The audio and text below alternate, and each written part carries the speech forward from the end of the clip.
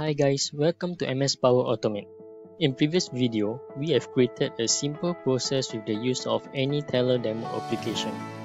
In today's video, we will create an additional process related to CRM data entry. So let's try to create a robot that does the following. Open CRM XLSX and my CRM application. For each row, we will need to select the people tab, enter the first name, last name, select the gender, enter the address, select the state, check the active, email and so forth. And the last one is enter the company name in the company tab. Okay, so first we need to take a look at the Excel file and also the application. So if you can see here, that this is the people tab and the company tab. We need the first name, last name, gender, address, state is a combo box, which is the drop down list, phone number, email, the role in company will be entered inside this comment slash notes. And the company tab, we enter the company name. Okay, so first what we need to do is run application.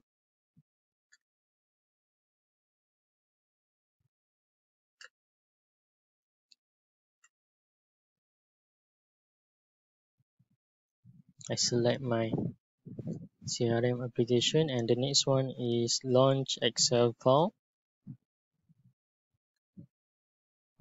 Open the following document and I select my Excel file. Okay, the next one is I would like to get the first free row.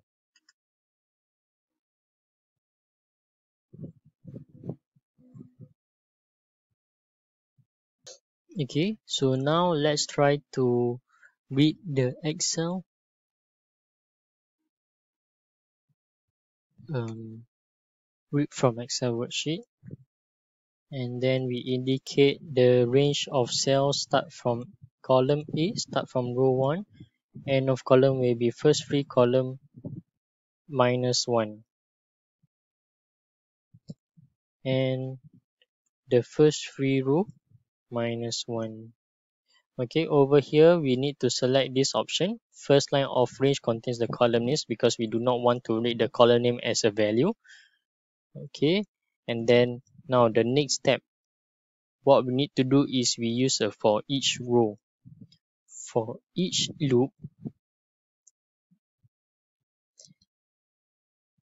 we have to indicate the Excel data. Produce variable will be current item as per default and then now the next step is we want to select the tab in the window right? So we add a UI element. Okay so over here I need to select the people tab. I must control hold my control plus a left click. Okay it's already added here. And then my first name last name gender I need to select both. Address state phone number, email address, notes, active. So over here you have select but you can't see here. Scroll down, you can see. And then the next one is the company tab and the company name. Okay, let me double check whether I've selected. Yes, I selected. So over here I have two, right? It's okay. Later I will delete it so over here is generated successfully. Let me delete this UI element because it's duplicate. And then over here I would like to rename it to have a more meaningful naming convention put here comments. Okay so now the next step what I would like to do is select tab in a window.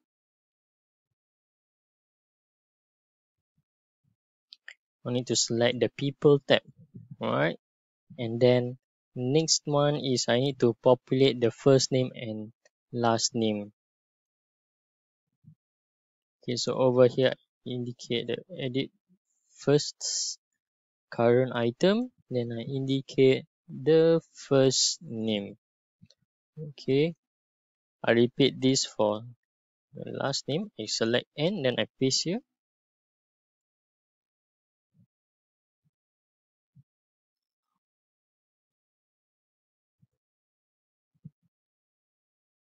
Okay, no, now next is the gender, right? So for gender, we need to have a condition to check whether it's a male or female. So you have to use a if action if current item square brackets gender is equals to male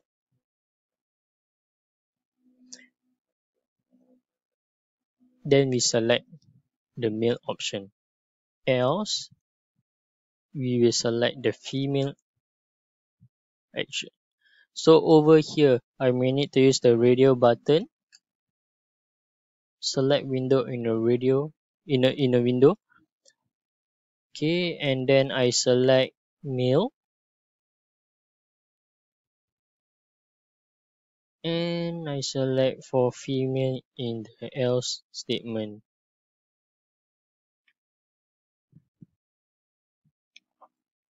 alright. So now next is we need to populate the address. Let me copy this again. Paste it below after I select the gender. And then I select address.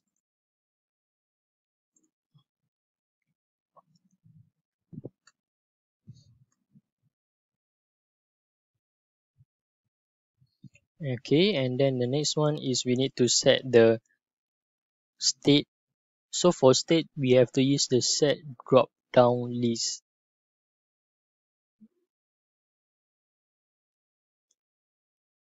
Okay select state.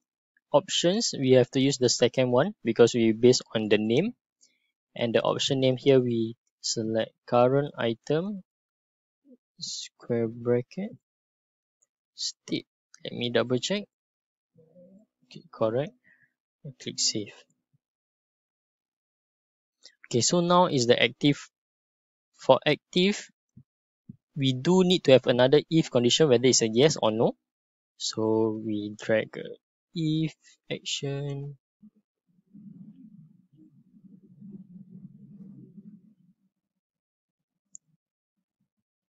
If current item if is equals to yes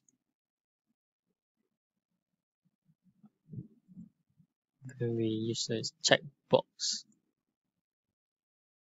set the checkbox state to check.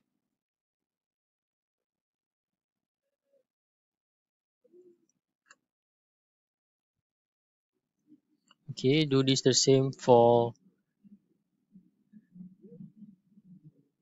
non-active. It's a bit laggy here let me okay. Set this to uncheck. Now I better save first. Okay. So now the last step is enter email phone number and the role in company. So we copy this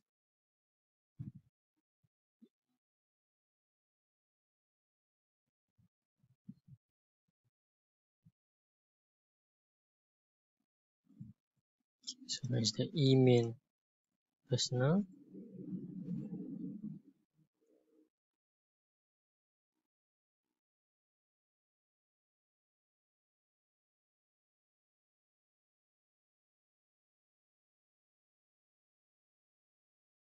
Let me close this application as you will open a new one.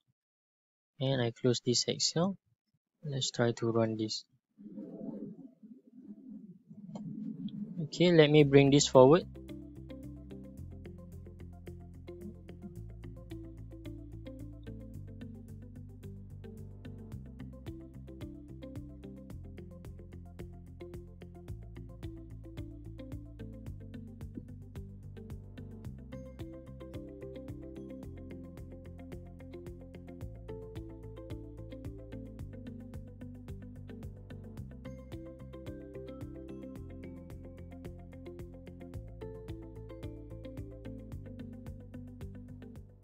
alright so over here you can see it's actually working. Let me just stop the bot because we do have the company tab. So okay it's already stopped. Uh next one what we need to do is we select the company tab right? Select tab in window. And then I select this tab company. And I need to populate the text field for company name.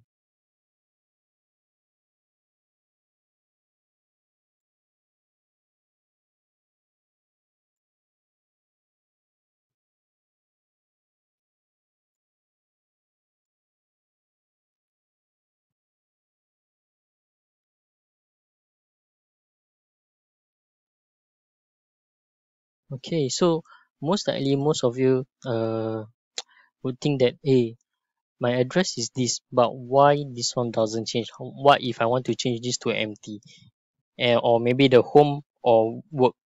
Okay so in this case it's simple. What you need to do is you use a populate text field again.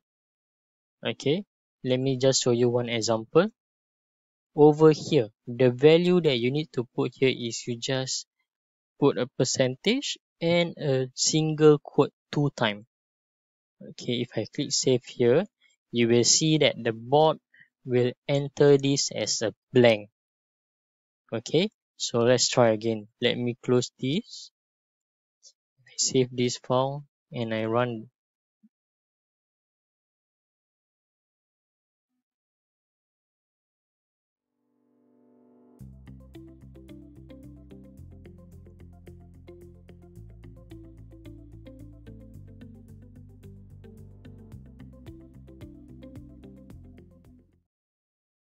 okay. So you see I did not change the address. So I stop the but I let me stop the run. I adjust this to address line 2 okay I click save and then let me run again.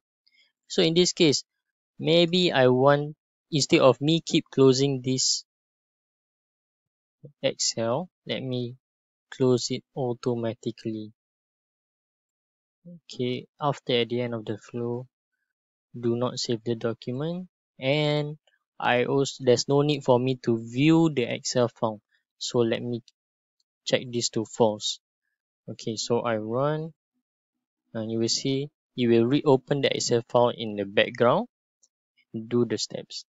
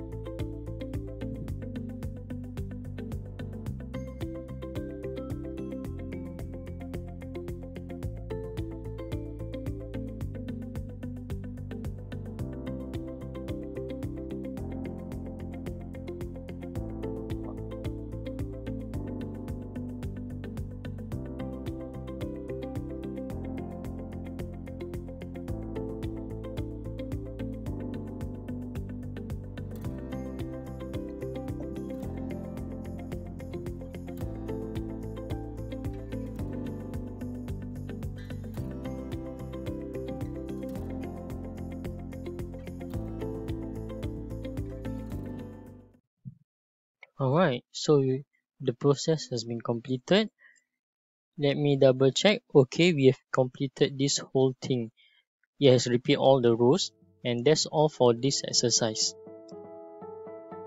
so if you're keen to learn more do remember to subscribe our channel as we have constant updates and tutorial videos on Microsoft Power Automate Desktop. Thank you.